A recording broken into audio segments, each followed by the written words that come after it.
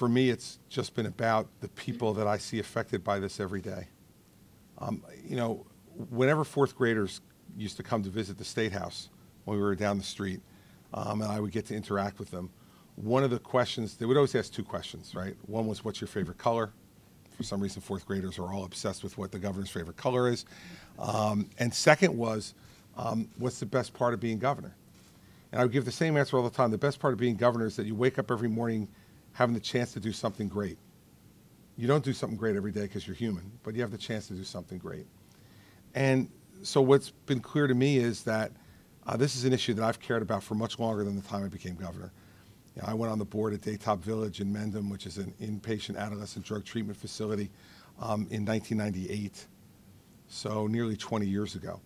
And so this is something that I've cared about for a very long time and something that our administration has been working on for a very long time. But as this crisis has increased, the need for attention has increased even more and, and resources increased even more. And so, how, how do I feel? I mean, I, I just feel grateful that there are people who are listening and acting.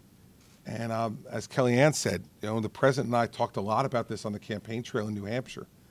Because as I talked about it, and, and a video or two that I did got a lot of national attention, um, we're friends. And even when we were running against each other, we were friends.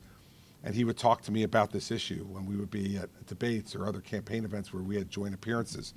Um, and I know that he cares deeply about this issue too. So now to have my friend, the president, um, who cares deeply about this issue, um, giving me the opportunity to take a leadership role on it is, a, I consider it a great gift. I'm grateful for the opportunity, and hopefully that what we do here together um, can help to save lives. If we do that, then I will have fulfilled what I said to those kids, which is you have a chance every day to do something great.